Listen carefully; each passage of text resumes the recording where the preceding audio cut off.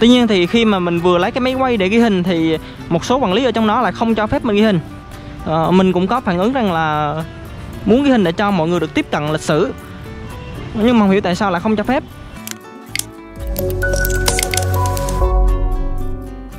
à, bây giờ thì mình sẽ đi vào khu bán vé để mình mua vé đi vào Dinh Độc Lập nha các bạn. à, wow. Hôm nay là ngày 29 tháng ờ, 4 2019 và mình đang có mặt tại Dinh Độc Lập. Hôm nay cái lượng khách khá là đông, tại vì ngày mai là ngày ờ, 30 tháng 4.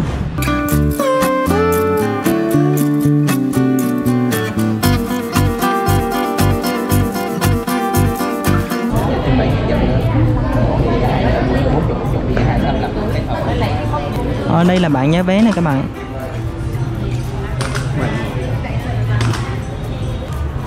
Ở cho một combo với một cái audio. Tiếng Việt nhé. Dạ. Vào là một lấy máy trước nha. Dạ. 65 đi 35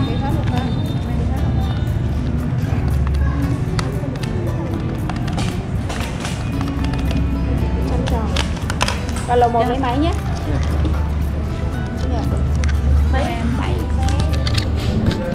Ờ, xin chào cả nhà, bây giờ thì mình sau khi mình mua vé thì bây giờ mình đã đi vào bên trong uh, dinh độc lập. Trước đây thì còn gọi là dinh Norodon uh, ờ, Sau này được gọi là dinh thống nhất này các bạn. Uh, Phía trước cái bạn này là cái cổng mà được uh, trùng tu lại Sau sự kiện ngày 30 tháng 4 thì uh, quân giải phóng đã vào trong này tung sập cánh cửa này. Ở bên này thì còn những cái chiếc xe tăng. Mình không biết là xe tăng phải là những cái chiếc mà uh, đầu tiên khi mà đi vào uh, dinh độc lập để tung sập cửa hay không. Thì uh, tí nữa thì mình sẽ qua khu vực này để tìm hiểu. Ở trước mắt thì mình sẽ đi vào bên trong dinh độc lập và đây từng là nơi ở và làm việc của Tổng thống Việt Nam Cộng Hòa.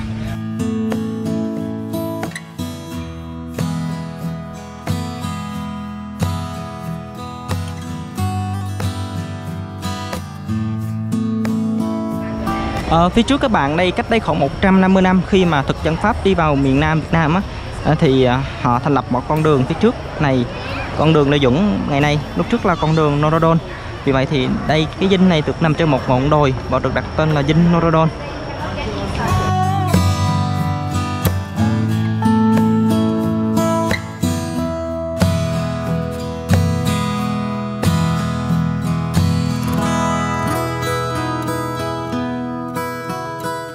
À, sau khi mà Pháp uh, rút khỏi miền Nam Việt Nam uh, tại miền Nam thành lập chính phủ đệ nhất Việt Nam Cộng Hòa do Tổng thống Ngô Đình Diệm lên ngôi thì lúc này thì ông sử dụng dinh Norodon làm cái trụ sở làm việc. À, sau đó thì có một cái năm 1962 thì có một cái vụ ném bom à, tấn công vào dinh và dẫn đến là gây thiệt hại khá là nghiêm trọng. Lúc này thì ông quyết định à, di dời về dinh Gia Long mà sau đó thì xây dựng lại dinh Norodon à, khi mà xây dựng lại thì ông tháng 11 năm 1963 thì ông bị đậu chính dẫn đến là dinh đang xây nửa chừng thì tạm ngưng. Ờ, cho mãi đến khi thời kỳ ờ, đệ nhị Việt Nam Cộng Hòa, tức là thời mà tổng thống Nguyễn Minh Thiệu lên ngôi thì ờ, dinh độc lập tiếp tục được xây dựng và hoàn thành. Kiến trúc sư mà người vẽ ra cái bản thiết kế này mới này đó là kiến trúc sư Ngô Viết Thụ. Người cha của kiến trúc sư nổi tiếng hiện nay đó là Ngô Viết Nam Sơn. Ở phía trước các bạn, đây là phòng nội các, nơi mà tổng thống Nguyễn Văn Thiệu và các cái tướng lĩnh hay họp vào thứ tư hàng tuần ở đây thì thi thoảng cũng tiếp những cái vị khách quý và ở đây cũng là nơi mà đưa ra những ban bố những cái sắc lệnh khá là quan trọng trong thời kỳ đề nhị Việt Nam Cộng Hòa. À, các bạn thân mến đối diện cái ờ, phòng nội các đây là phòng dạ yến nơi mà tiếp khách nè nơi mà các cái tướng lĩnh cũng như là tổng thống Nguyễn Văn Thiệu ngồi ở đây để ăn uống vào những cái bữa tiệc tùng. À, phía trước ngay phía trước dinh luôn này ở phía trước có một cái cầu thang mà nơi đánh dấu một cái sự kiện khá là quan trọng. Phi công Nguyễn Thành Trung đã lái máy bay và ném bom làm sập cầu thang này và chết khá nhiều binh lính và tướng lĩnh ở đây. Và sau đó thì cầu thang này được khôi phục trở lại. Ở phía trước các bạn này là phòng canh tiết một trong những căn phòng lớn nhất tại uh, dinh độc lập. Ở đây thì uh, nơi tổ chức các sự kiện khá là quan trọng như là ra mắt nội các uh, tổ chức phong hàm phong tướng ngay tại căn phòng này. Và đây là một trong những căn phòng lớn nhất tại đây. Bây giờ thì mình sẽ đi lên trên lầu 2 để cho các bạn xem thử trên lầu 2 đã có những căn phòng nào tại Dinh Độc Lập nha.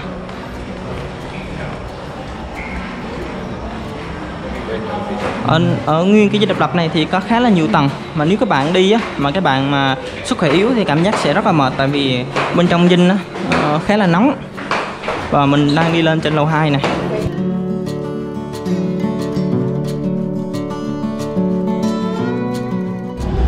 đây mình vừa mới lên trên lầu 2 ở tại Dinh Độc Lập. Và cái view nhìn ra ngoài khá là thoáng mát các bạn. Và đây là phía tầng 2 ở Dinh Độc Lập. Thì uh, phía bên tay phải của các bạn đây là nơi làm việc của ờ, uh, nghị tướng Nguyễn Cao Kỳ.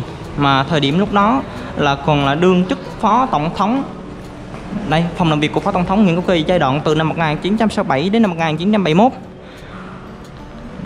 căn phòng làm việc đây là chắc là phòng tiếp khách của ông và bên đây là nơi làm việc của tướng Nguyễn Cao Kỳ. À, phía sau này thì có khá là nhiều những cái bậc kỷ niệm của ông. Phía sau lưng cái bàn làm việc của tướng Nguyễn Cao Kỳ có chụp một cái tấm ảnh được phóng khá là bự. Tấm ảnh này thì được chụp ngay tại Đà Lạt. À, thời đó thì cũng đã có những kỹ thuật phóng ảnh lớn rồi. Khá bức ảnh khá là lớn. Còn bên này thì ờ, bức ảnh của bà Đặng Tuyết Mai, người vợ thứ hai của tướng Nguyễn Cao Kỳ. Và bây giờ là người con có người con có tên là Nguyễn Cao Kỳ Duyên á. Căn phòng này thì có cửa sổ nhìn thẳng ra, con đường độc lập, hay còn gọi là con đường Norodon khá là thoáng mát luôn các bạn. Đây là một vị trí khá là đẹp. Mà vách tường này vách tường từ tường xi măng là từ này, kéo ra đây khá là dày nè. Mình nghĩ phải hơn nửa nửa mét, hơn nửa mét chống được đạn bơm luôn. Căn phòng làm việc của phó tổng thống Nguyễn Cao Kỳ giai đoạn từ năm 1967 đến năm 1971 thôi. À, còn đây là phía trước của các bạn là phòng khách của tổng thống Nguyễn Văn Thiệu. À, phòng khách này bao gồm hai cái căn phòng nằm song song với nhau bên này và cả bên này. Thì khi mà các cuộc họp quan trọng hoặc là đón tiếp khách á, thì những cái thuộc cấp thì ở bên phòng sau lưng này còn những những cái vị tướng lĩnh mà quan trọng thì ở bên này phía sau lưng cái ghế của tổng thống thì có ba cái lá sọc phía dưới biểu trưng châu quốc kỳ của Việt Nam Cộng Hòa. Bây giờ thì mình sẽ đi sang cái phòng uh, Trình Quốc Thư. Đây là một trong những căn phòng được gọi là quan trọng và rất là uy nghi ngay tại Dinh Độc Lập. À, trang trí của căn phòng là do hộ sĩ Nghĩa Văn Minh thực hiện này các bạn. Căn phòng này rất là đẹp nha. Ở chính diện ở căn phòng là có một cái bức tranh sơn mài rất là đẹp dọc uh, dọc tường là là tám cái ngọn đèn. Tám ngọn đèn được uh, uh, sẽ được thắp sáng khi mà các buổi lễ khá là quan trọng được diễn ra tại đây. Thì ờ, những cái ngọn đèn dầu này sẽ được thắp sáng. Còn phía sau lưng các bạn là bức tranh sơn mài. Ở phía sau lưng cái phòng Trịnh Quốc Thư đó là nơi sinh hoạt của gia đình Tổng thống Nguyễn Văn Thiệu. Thì mình sẽ đi ra cho các bạn xem. Ở này thì có một cái uh, hòn non bộ nằm ở ngay lầu 2 không gian rất là thoáng bên này là phòng ngủ của gia đình ông Nguyễn Văn Thiệu.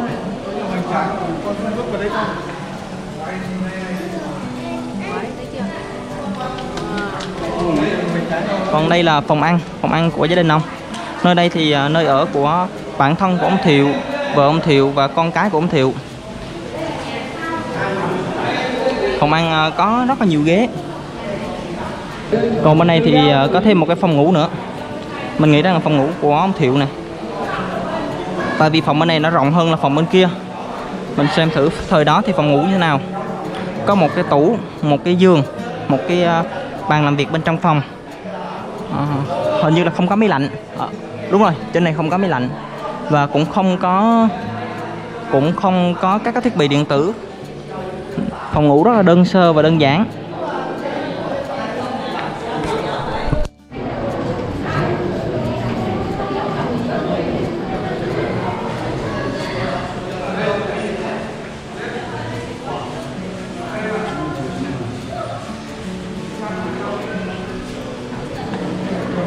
Bên đây có một căn phòng bí mật này các bạn.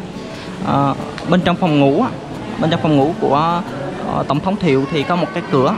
Cái cửa này thì dẫn qua một cái phòng trang phục nơi đó là nơi ông thay đồ và cũng là có một cái cầu thang bí mật để đi xuống dưới tầng hầm.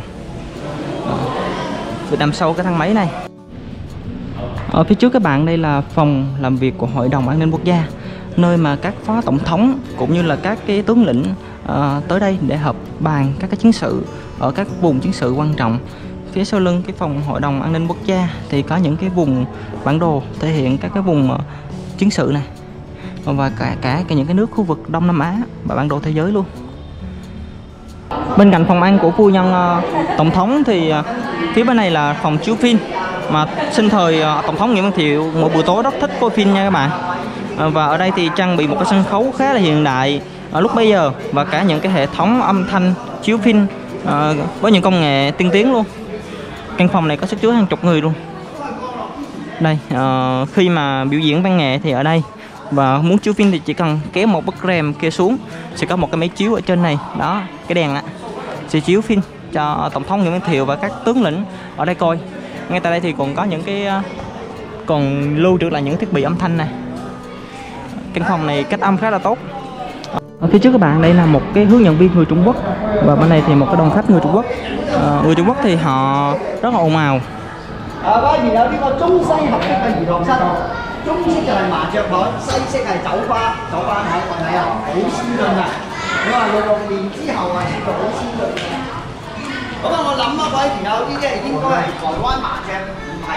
Đây là cái phòng giải trí của Ờ, các tướng lĩnh cũng như là gia đình của tổng thống Nguyễn Văn Thiệu. Bên này thì có đánh bài mặt trượt bên này thì phòng đánh bài. Ờ, bên kia là một cái quầy bar mini. Ờ, xin chào các bạn, hiện tại thì mình đang có mặt tại lầu 4 của Dinh Độc Lập. Và tại đây thì có một chiếc trực thăng được ký hiệu là UH-1 Chiếc trực thăng này do Mỹ sản xuất phục vụ vào cuộc chiến tranh Việt Nam. Thời mà Tổng thống Nguyễn Văn Thiệu còn ờ, nắm quyền thì ông thường đặt chiếc trực thăng này trên nóc Nhằm mục đích là khi mà xảy ra chiến sự thì có thể là leo lên trực thăng để bay đi. Ờ, ngay tại nóc của Dinh Độc Lập thì có hai cái vòng tròn đỏ. Một vòng tròn đỏ thì đánh dấu vào cái sự kiện uh, phi công đại úy uh, Nguyễn Thành Trung. Có lái một chiếc máy bay F155 để ném hai quả bom xuống dinh độc lập. Đó một cái vòng tròn đỏ phía bên này nè các bạn. Vòng tròn đỏ thứ hai đó là cái mảnh ờ, bơm bom còn sót lại. Và sau đó thì uh, gần đó có một mảnh bom đang được uh, giữ lại và có chữ ký của uh, trung úy Nguyễn Thành Trung. Ở phía trước các bạn, đây là căn phòng nằm phía trên bên hông của chiếc trực thăng và nơi là cao nhất của Dinh Độc Lập. Ở nơi đây được gọi là lầu tĩnh tâm. Theo ý tưởng của kiến trúc sư Ngô Viết Thụ thì không gian này chỉ dành riêng cho nguyên thủ quốc gia, tìm đến sự an tâm và sự tỉnh trí khi mà đưa ra những cái quyết sách quan trọng, hoặc cũng có thể là lúc ông mệt mỏi, ông có thể lên đây thư giãn.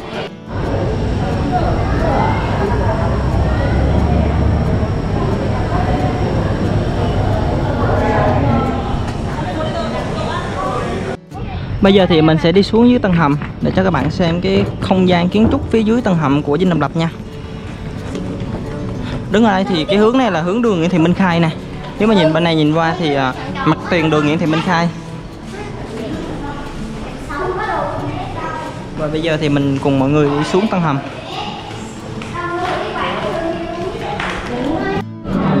Ở đây rồi.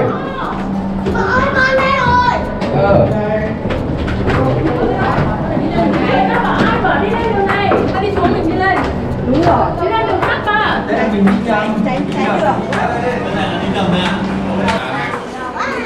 thì uh, khu vực tầng hầm này thì có thể thông lên trên các cái tầng phía trên này khi mà xảy ra chiến sự thì các cái tướng lĩnh cũng như là gia đình của tổng thống Nguyễn Thiệu có thể chui xuống dưới tầng hầm Ờ, tầng hầm này thì do trung tá và kỹ sư Phan Văn Điển ờ, thiết kế đây là những cái tấm bản đồ bản đồ chiến sự lúc xưa này đây là chiến trường ờ, Trung Phân này.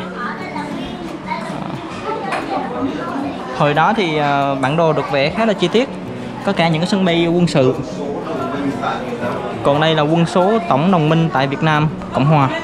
À, quân luật Việt Nam Hoa Kỳ lục quân hải quân Thị quân lục chiến không quân.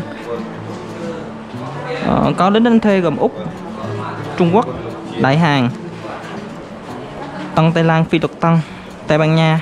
Thái Lan tổng cộng có 604.000 người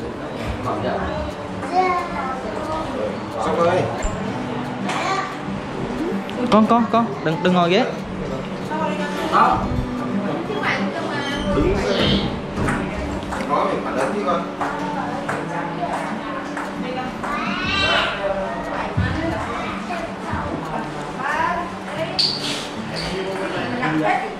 Thank you cái này là bản đồ Sài Gòn lúc xưa này các bạn.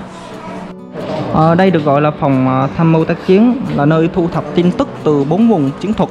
Ờ, phía trước các bạn đây là bản đồ thể hiện cái quỷ tuyến 17 nơi chia cắt hai miền Bắc Nam.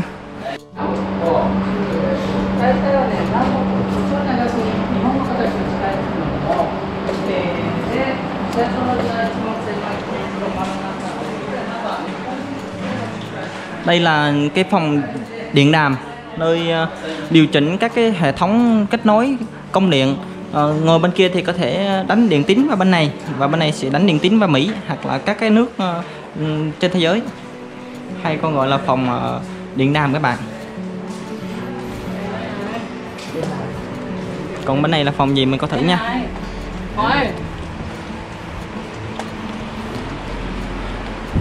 Này Đây là phòng thông tin liên lạc nơi có các thiết bị uh, kết nối sóng điện thoại, điện tín, kết nối uh, các cái vùng bốn vùng chiến thuật cũng như là lực lượng tham mưu của Mỹ hoặc là liên kết với các thông tin các quốc gia khu vực Đông Nam Á.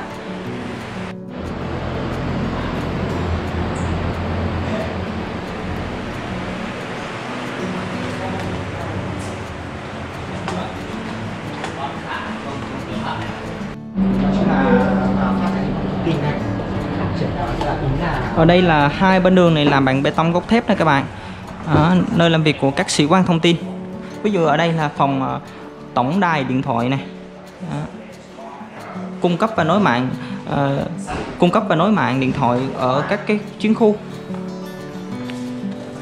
Và đây là đài thu vô tuyến do Mỹ viện trợ. chứng tỏ cái hệ thống thông tin là phải rất là quan trọng đúng không?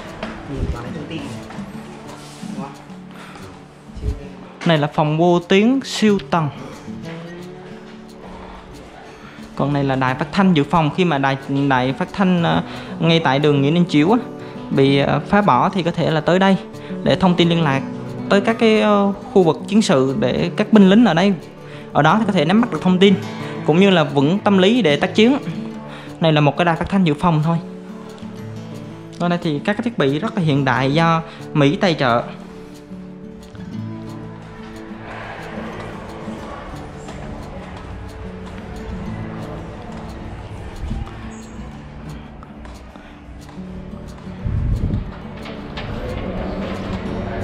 Đây là một trong những căn hầm mà vẫn chưa được ờ, đưa vào khai thác hoạt động. À, mình có một cái thông tin dữ liệu cung cấp cho các bạn. À, tại dinh độc lập này có một cái con đường hầm bí mật nối từ dinh độc lập đi sang công viên tàu đàn và một số cái tòa nhà lân cận ở đây. Mục đích là khi mà xảy ra chiến sự thì có thể chui dưới tân hầm để trốn thoát. À, còn đây là phòng ngủ của tổng thống. Khi mà chiến sự xảy ra thì ông có thể ngồi ở dưới này điều hành cũng như đồng thời là ngay tại đây ông có thể nghỉ ngơi. Ờ, bên này là phòng trực chiến của tổng thống. Ờ, khi mà chiến tranh diễn ra thì phải chui dưới tầng hầm và ngồi ở đây điều phối các cái binh lính, các khu vực ờ, chiến sự. Và khi mà thì ông sẽ sang cái bên để ngủ nghỉ. Có khá nhiều bản đồ để góp phần cho tổng thống có thể đưa ra những cái quyết định kịp thời.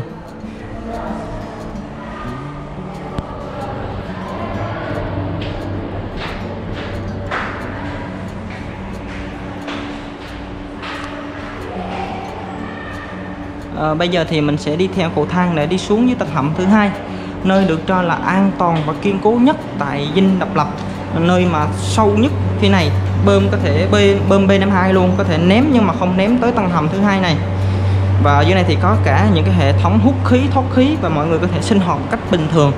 À, thuở đó thì những công nghệ này được xem là những công nghệ cực kỳ tiên tiến. Bên này thì có những cái bọc thép này bê tông rồi còn bọc thêm một lớp thép chống đạn nữa các bạn đây là tầng hầm bí mật thứ hai.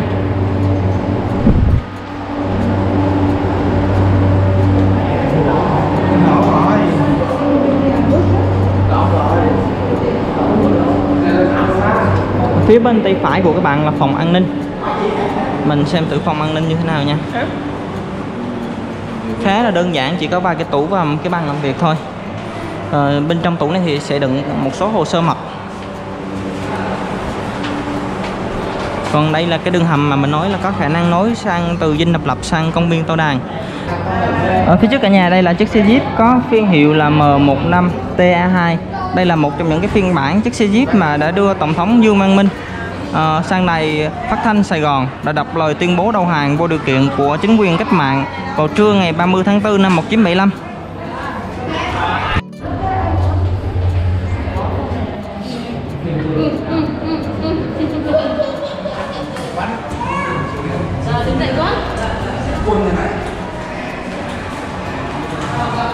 đây là cổng sâu của dinh độc lập này các bạn. Bây giờ là con đường mang tên là huyền trân công chúa. À, phía sau mặt đường Huyền Trân Công Chúa này là công viên Tàu Đài và bây giờ thì mình sẽ đi ra cổng sâu.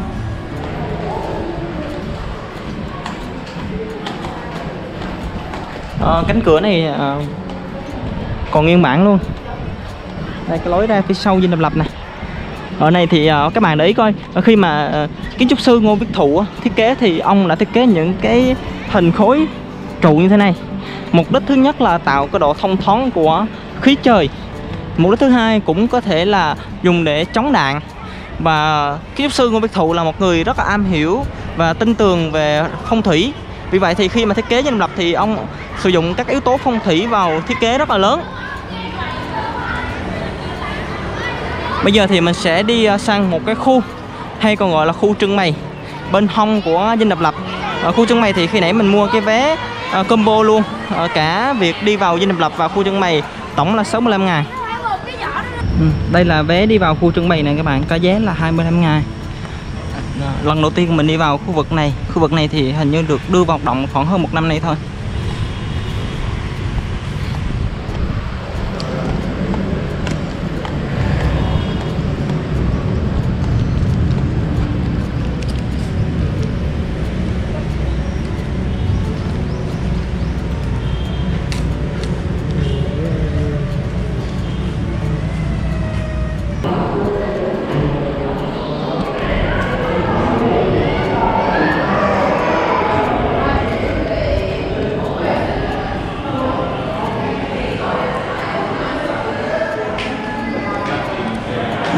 Đây thì sẽ khái quát cho các bạn về lịch sử khu vực dinh Norodon à, ờ, đầu tiên.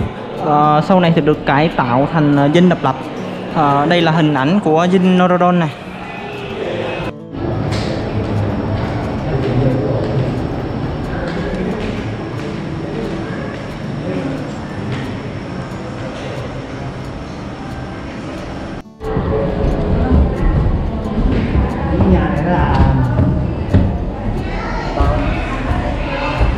Phía trước các bạn, đây là hình của tổng thống Ngô Đình Diệm.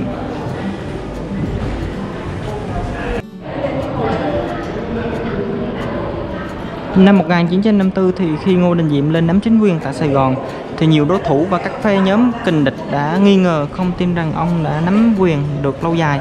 Và chính vì Ngô Đình Diệm lúc đó còn yếu và không kiểm soát được nhiều vùng ở miền Nam Việt Nam Thôi, ở đây không có quay phim nên không hiểu tại sao mà sau khi mà mình vào khu trưng bày á thì mình có ghi hình. Bên trong này thì trưng bày cái cuộc đảo chính của tổng thống Ngô Đình Diệm ờ, vào giai đoạn năm 1963 thì trong đó trưng bày thứ nhất là cuộc đảo chính này cuộc sát hại của tổng thống Ngô Đình Diệm và Ngô Đình Nhu và đồng thời là cuộc đàn áp Phật giáo của ờ, đệ nhất Việt Nam Cộng Hòa. Tuy nhiên thì khi mà mình vừa lấy cái máy quay để ghi hình thì một số quản lý ở trong đó lại không cho phép mình ghi hình. À, mình cũng có phản ứng rằng là muốn ghi hình để cho mọi người được tiếp cận lịch sử. Nhưng mà không hiểu tại sao lại không cho phép. Ờ, và hai bên đã có cuộc trao đổi rất là lâu. Ờ, rất là tiếc khi mà những cái bạn nào mà không có dịp tiếp cận ờ, không có dịp được mua vé đến với độc lập thì không được theo dõi những thông tin đó. Thì không hiểu sao luôn. Mình khá là khó chịu về việc này. Hôm nay là ngày 29 tháng 4 năm 2019 và ngày mai nữa là ngày kỷ niệm ngày 30 tháng 4 và phía trước mọi người, đây là dinh độc lập. Ờ, cảm ơn mọi người đã theo dõi đoạn video này.